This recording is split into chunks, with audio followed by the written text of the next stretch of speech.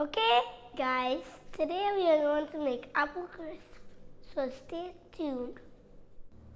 Okay guys, so we're going to make some gluten-free apple crisp or really it's gluten-free because I'm using gluten-free flour but you can just substitute normal flour and you can make yourself a delicious apple crisp as well.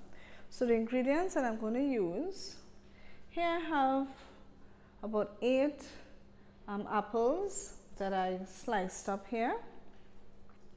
I have one cup of oats here. This is gluten-free oats.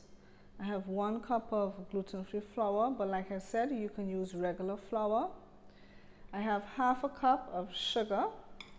We're going to use two teaspoons of this mixed spice. Now this mixed spice has cinnamon, nutmeg, cloves and ginger in it. So we're going to use two teaspoons of this mixed spice.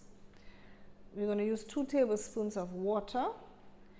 This is a quarter cup of almonds that I grind up in my um, coffee maker. Now what I did, I just took a quarter cup of the whole raw almonds. I toasted it in the oven and then I put it in my coffee grinder and I got it into this powder um, consistency here. So a quarter cup of almonds, um, a quarter cup of cranberries. This is about a quarter cup of um, clarified butter and one teaspoon of vanilla essence. So these are all the ingredients we're, we're going to use in order to make our apple crisp. So let's get to putting everything together. Okay, so the first thing we're going to do is put some the, the water in our apples. So we're going to add in our two tablespoons of water. I'm just going to mix that. And now to this, I'm going to add two teaspoons of the mixed spice.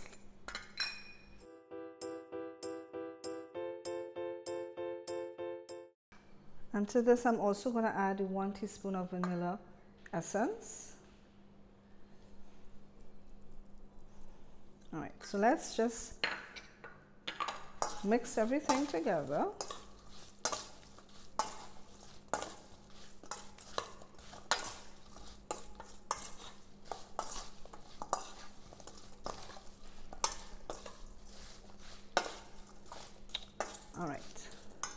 So what we're going to do now is we're going to put it in our greased um, pie dish here.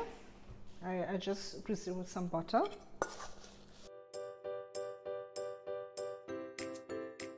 One thing I forgot to mention is some salt. So let me get a little sea salt just to sprinkle over it. So I guess you can put about half, um, quarter teaspoon, sorry, one quarter teaspoon of salt.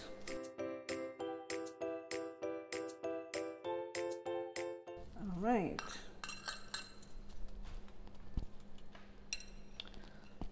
Okay, so what we're going to do now is we're going to wipe out this bowl and we're going to mix our crumble for the top. All right, so we're going to add our one cup of flour, one cup of oats, half a cup of sugar, quarter cup of almonds. Um, in my case, I ground up my almonds. If you want to chop it roughly, you can do that. Quarter cup of cranberries and about a quarter cup of the clarified butter. So this was in the fridge, so it's cold. So when you are making it if you're using regular butter you just use um, the butter that you have in the fridge and what we're going to do now is just mash everything together with your washed hands to get a sort of like a breadcrumb consistency. Right. So now we're going to add this to the top of our apples here.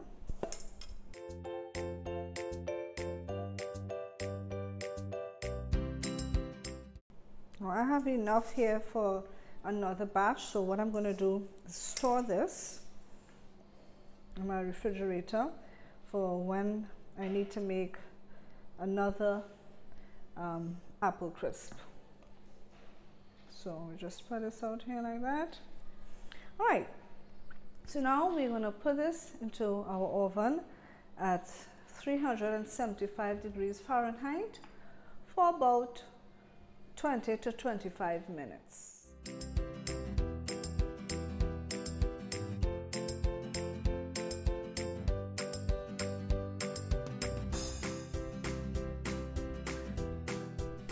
Okay, so our apple crisp is now completed. I hope you enjoyed watching this video. And if you haven't subscribed already to my channel, feel free to do so. Once again, thanks for watching. Bye for now.